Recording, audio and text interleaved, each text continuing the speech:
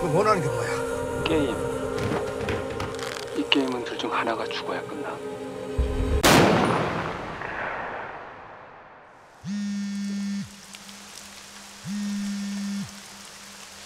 월 친구 다음은 당신 차례야